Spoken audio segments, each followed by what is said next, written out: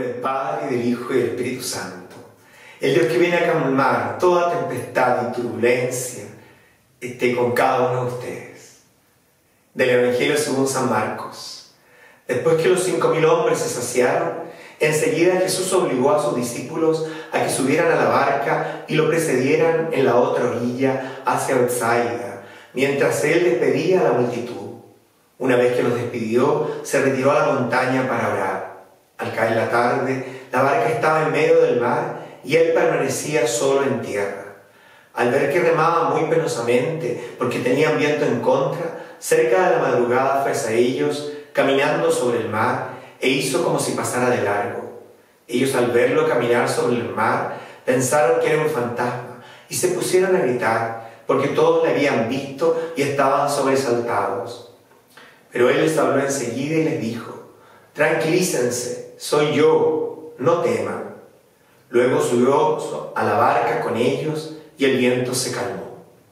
Así llegaron al colmo de su estupor, porque no habían comprendido el milagro de los panes y su mente estaba enseguecida.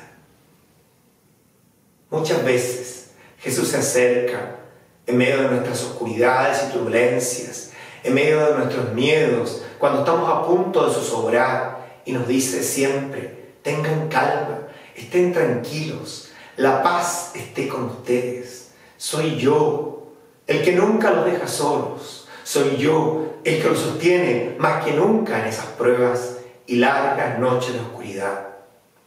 La presencia de Jesús que sube a nuestra barca siempre trae la calma, la verdadera serenidad, la paz que es el fruto del Espíritu que tanto necesitamos.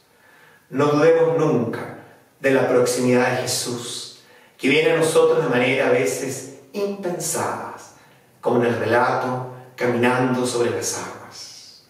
Que este Jesús, que calma toda tempestad, que este Jesús, que es la paz misma, siempre podamos recibirlo con un corazón abierto de par en par.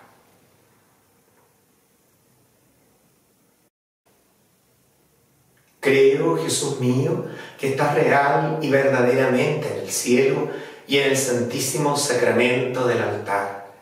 Te amo por sobre todas las cosas y deseo vivamente recibirte dentro de mi alma.